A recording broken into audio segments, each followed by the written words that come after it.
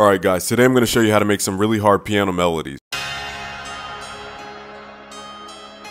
This trap melody motif has been used a gazillion times. Just thicken it up with 3 octaves of bass. Duplicate your pattern and just pull it up 1 octave. Now you have two patterns, one regular and one that's up an octave. Add a small amount of half time to your piano melody. Highlight this section, right click where it says track and consolidate track from time selection. Once you have it rendered to audio, click in the top left, go to channel settings, go to stretch mode, and then mess with your pitch. Send this new audio piano to the same exact track you used to process the MIDI. So now you're reprocessing the piano, so it's double half timed.